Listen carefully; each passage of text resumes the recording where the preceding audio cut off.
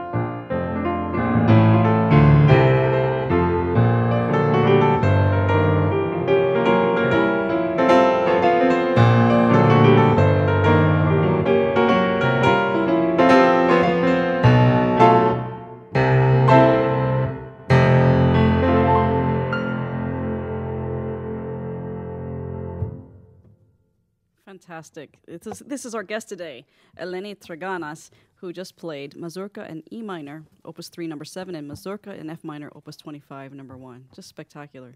I feel like I have my own private concert here. I mean, I know there are people outside this glass wall, but they can't hear you, unfortunately. I wish they could. Jennifer, Jennifer, you saw, um, as you were looking at the music score, uh, the uh, numerous writings, uh, indications of rubato, rubato mm-hmm. here, rubato there. That was Scriabin's style, and he took Chopin's whole concept of uh, stretching rhythm and time into uh, into extremes. You mm-hmm. know, so you have to be very flexible. You can't play Scriabin while uh, counting rigidly. You eliminate your bar lines, and you just move with the flow and emotion right. of the music. Ah and you convey it so well. Oh, thank you. Oh my goodness. Thank you. You make me wish I still was practicing the piano every day. but you played that Chopin etude, uh, the uh, Scriabin etude so beautifully. I know, but that was a long time ago. Well, so just a few years ago. what, three years or so? Oh, That's or more. Yeah. All right. I don't remember. You do. She, uh, uh, has this amazing memory. I don't know what. She's a genius. Everything I tell her, she remembers every single thing. Uh, yes, so you better be careful. right. so, Jennifer, I'm going to read a passage sure. from my novel, mm-hmm. Twelfth House. Twelfth House. Uh, published uh, by Seaburn Books. And uh, Scriabin figures prominently in my writings and uh, in, in, in, very much of what I've been doing uh, because his music from a very early age was mesmerizing for me. I remember when I was at the School of Performing Arts mm-hmm. here in Manhattan in the heyday of its existence I first heard the poem of ecstasy, Opus 54. Mm-hmm. I was mm-hmm. uh, 16 years old. I was flabbergasted. It was just the sounds, the the the rush of of, uh, of, of, voice leading, of, of massive sonorities just piling up one on top of another. It was shimmering. It was glorious. It was something I, I uh, was so totally unaccustomed to, and I was bowled over. And then a few years later, I came across the uh, ninth sonata, ah. the Black Mass Sonata, uh-huh. and I started working on that. And I tell you, I'm not exaggerating, Jennifer. Uh, I used to practice in the dark then, and sometimes I still do. It just focuses your concentration uh-huh. um, to eliminate distraction, mm-hmm. and you get to focus on the music. I was playing in the dark. I am not exaggerating. I swear to you, I felt I saw little green and yellow sparks fly out of the keys uh, as I was touching them. Uh, when you're really in tune uh-huh. with uh, with the entire um, concept of of Scriabin's whole. Um, uh, musical tonal language, mm-hmm. you pick up these upper partials and somehow right. you create an astonishing electromagnetic energy. And for Scriabin, uh, he also was, uh, I can't call him really a, a synesthete, but he did appreciate the combination of colors uh, with sounds and their interrelationships. Mm-hmm. Uh, so for him, when I when I started playing the uh, the Black Mass Sonata, it starts in the chord of uh, B major, B and G, uh-huh. and alternating with B flat. Yes. Now, when as soon as I play that, to me, B is a very greenish color. Uh-huh. So I was getting these greenish, uh, yellowish sparks. For me, green is uh, G is uh, a golden yellow color. Huh, G is greenish. Uh-huh. For Scriabin, uh, gre- um, G uh-huh. is for him a rosy gold color, and B is a, a steely, yeah. steely green color. So I was picking up these incredible vibrations. Yeah but his uh, sense of color was entirely subjective. Right. Uh, before we go to break, Eleni, let's let's listen to your passage, okay, and we'll yes. tell people after the break where we can uh, get a copy of your book. All right. So. The protagonist of the work is Lara, mm-hmm. and uh, she is about to um, demonstrate to one of her students a passage of Scriabin. In this case, it is the uh, Vers la Flamme, Towards the Flame, Opus 72. And it is a very dark room in her um, living room. So the candlelit living room was now as dark as a prehistoric cave, while the dim light flickered and formed miasmic patterns on the walls like whirling dervishes and medicine men over their singing bones. Lara's fingers hovered over the keyboard and injected the atmosphere with the strains of Scriabin's arcane, mysterious harmonies. And as she played, she felt the pulsing of her heart beating an infectious, excited rhythm, while needles of magnetic waves seemed to circle around her fingers like quivering greenish sparks. In an unbroken stream of rarefied consciousness, Chloe, her student, like a devoted acolyte, continued reverently, and then a hollow, speechless silence filled the room once more. Insects, Lara said suddenly, pricking the stillness like a bee sting. You must think of insects, of moths, flying recklessly towards the flame. This is what the composer himself had envisioned moths flying boldly toward the golden radiance of the sun, singeing their wings in an active destructive self immolation. And the insects are our own deepest desires, not physical longing, no. They are our instinctive need, our ultimate yearning for light, for knowledge, for some kind of lofty illumination. And once we have reached it, we have reached our undoing. We are destroyed. This Wow. is an example of Scriabin's own life. Yes. A, a quest towards the flame, towards the light, which he finally achieved. It's a wonderful passage. And um, when we come back from the break, we're going to listen to Eleni play some more music of Scriabin and uh, talk about where we can get her book. And you're listening to Sounds from the Spires on the Catholic Channel, Sirius XM 129.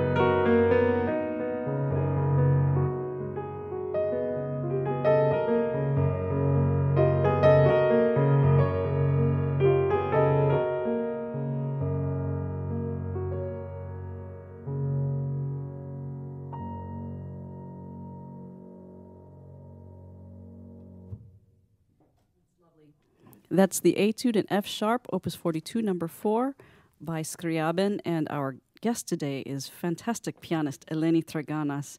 And when you hear an etude, you think complicated, moving about, fast notes, things you can't reach or play. But this was very pretty and lovely. It's indicative of uh, Scriabin's oncoming middle period. Uh, this was the time of the Divine Poem, Opus 43. He's gradually becoming involved with uh, Madame Blavatsky's Theosophy, and um, also Nietzsche is a very strong influence in him and his music at this time. But uh, this uh, particular etude is also representative of the uh, slower uh, etude uh, form that Chopin himself brought forth in uh, some of his absolutely magnificent etudes, especially the notably is the uh, uh, Opus 10 number 3 in E, e major called the Tristesse etude. So it has that poignancy, it has that um, languorous quality that is a hallmark of uh, Scriabin's middle period. It's languorous, it's sensuous, languid, and actually at this time of uh, his career, eroticism is beginning to take a strong hold on him and uh, shaping his music. Interesting. Yes. Now, oh, as a um, sidebar here, Uh-huh. he was uh, he had two wives. Two wives. Uh, yes, he abandoned his first wife, Vera, both of them Jewesses, by the way.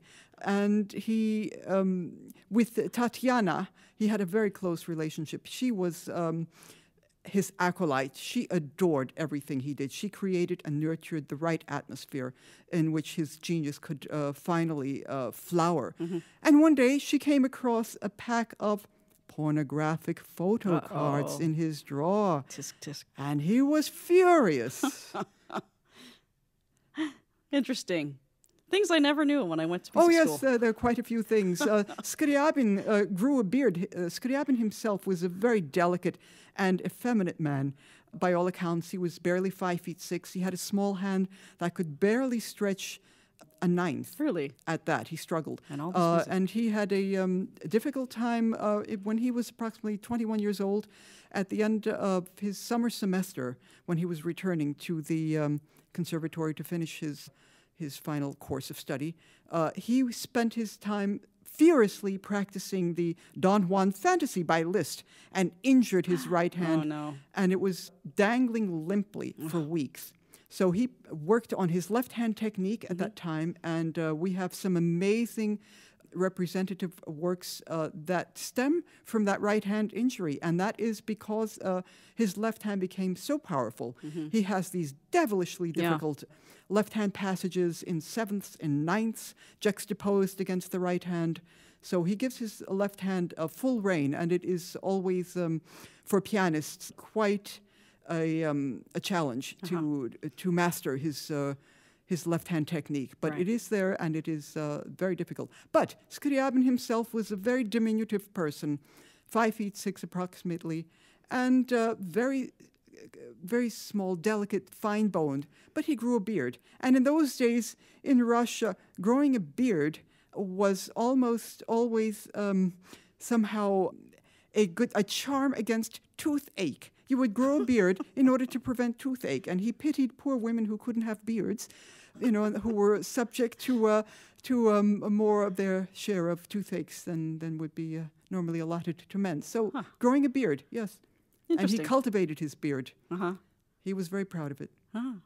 Interesting. Yeah. It's a great education we're getting from Eleni today, but also some fun facts that we never knew Fun facts indeed. about Alexander Scriabin. Yes. So his middle period was, um, again, influenced by uh, theosophy, and his egocentric world was starting to bloom now. Scriabin eventually became uh, the apotheosis of God on earth. Uh, being born on Christmas somehow propelled his view, but his whole concept of creativity, the genius of creativity, the, the energy of creativity, the will, the assertion of his will, just somehow elevated him in his mind's eye to uh, this self deified um, version of Christ on earth. He truly felt he was the new Messiah of a coming age of music. And the middle period is just a stepping stone. I'm going to play Étrangeté, Opus 63, number 2 Uh, it's a group of two pieces. This will lead almost uh, immediately into Opus 63, the, uh, the Opus 64, pardon me, the White Mass, which was a groundbreaking work. Now, the last time I was here, I remember we did the Opus 62 sonata, the sonata number six that was opening the doors to Scriabin's final period. He was terrified of that sonata. He never played it in public. It just conjured up demons and wild dervishes and, uh, and the most negative impressions for him. He saw phant- uh, phantasms parading before his mind's eye, and he avoided this work. So the sonata number 7 uh, which will follow the Étrangeté, was his uh, work of catharsis, more or less. He wanted to expel the demons of uh, the sixth sonata and to um, bring in a heightened sense of purity with the seventh White Mass sonata, which he himself dubbed. It was to cleanse away the evil spirits. So he believed that he found his sainthood through this work. It's an elimination of all material, earthly uh, emotions. And uh, it is centered on his new concept of the uh, major seventh chord, a minor thirds separated by a 4th And he uses this in various intervals, up and down the keyboard. And uh, the strange thing about this is that it, um, it is um, very much an influence of our organist's um, musician, Olivier Messiaen, Yes. who was greatly indebted to Scriabin, as he once told me. I met him uh, in Did the you? 70s. Huh. And he said absolutely Scriabin was one of his greatest influences and also influenced his modes of limited transposition. Mm-hmm. So Scriabin had a very, very lasting effect on subsequent Wow. musicians. I didn't realize that. Yes. Oh, interesting. Yes. So I'm going to play the Étrangeté, mm-hmm. very short work, Yep. and we're going to lead right into the seventh sonata.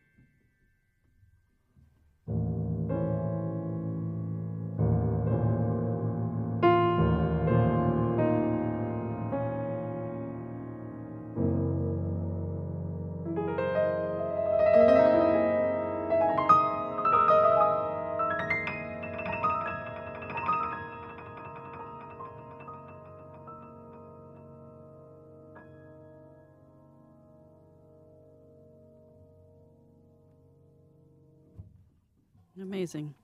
That's uh, Alexander Scriabin, and our guest today, pianist Eleni Traganas, uh, performed all of this. This uh, before the break, uh, we played, uh, or she played, Etrangete, Opus 63, number two, uh, and then an excerpt of the Sonata number seven, the White Mass, Opus 64, and then after the break, the finale from the sonata. Fantastic. Um, now, I must say, um, getting back to the Étrangeté uh, and uh, tying this in with Messiaen, somehow every time I am practicing the Étrangeté, I hear birds, little sparrows mm-hmm. gathering on my windowsill, twittering. They somehow seem very attracted to the upper partials. and uh, of course, you know, uh, Messiaen and his very strong influence of uh, birdsong mm-hmm. in his music. Mm-hmm. So Scriabin and Messiaen are both very clearly tied together. But birds would just gather on my windowsill and somehow chirp along with the piece. Interesting. So, yes. Yeah. It's uh, all, all of the upper partials that seem to resonate. And you have to get just the right approach to Scriabin. It's all in pedal work, too. You have the, the famous flutter pedal that Scriabin was famous for trying to uh, uh, catch some of the fundamental tones mm-hmm. while uh, clearing up the upper partials. Yes. Very, very uh, arcane art in itself. Uh-huh. So Scriabin really pushed the art of pianism to its ultimate in the um, uh, early 1900s. Right. Amazing, Eleni. Um, so I wish we had another hour to pull this all together, but in um, maybe in a nutshell, Cliff Notes version, what is the difference between uh, Scriabin's White Mass and Black Mass? Um, chordal structure. In the White Mass, we have, as I mentioned, the uh, major seventh, uh, which plays a role. The um, the minor third, separated by a perfect fourth. That's his interval mm-hmm. of the moment. But when we get into the ninth sonata, um, there's something very, very mephitic, something very evil about the work. And uh, Scriabin had, uh, did not name it the Black Mass on his own, but he had no objection mm-hmm. uh, to other people calling it Black Mass because it is so hellishly uh, dark. Uh-huh. And you can there's something mephitic and sulfurous about the, the fumes that come out of his chordal structure. As opposed to the uh, seventh sonata, the ninth sonata is built on uh, the minor ninth or um, major third, uh, major thirds separated by a um, by a fourth. So it's uh, almost the uh, bookend opposite of the seventh. It's much shorter. It is compact, uh, probably his most effective uh, sonata yet. Huh. Scriabin loved it. He played it uh, very often.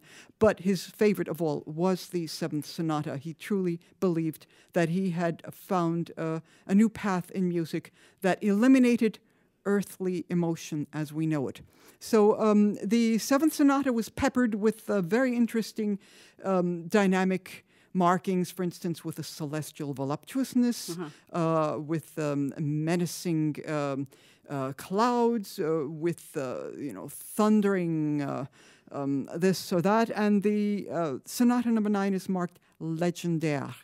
So, uh, also a mysterious murmuring in the beginning, as if you are descended into hell and you feel this roiling, bubbling pit just spitting out uh, um, evil until it finally erupts in a cataclysmic ending, and, and it is uh, more or less uh, a, a an ending uh, that will end everything. Uh, it's cataclysmic in its scope. It's a very effective ending, and um, this work again was one that Scriabin often performed in public, rather short. Mm-hmm.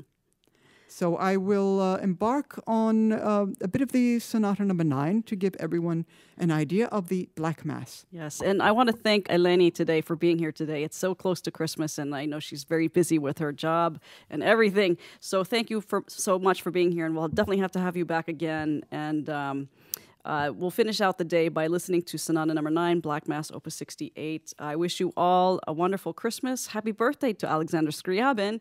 And um, thank you, Brooke, eh, back here for helping us out with the sound today.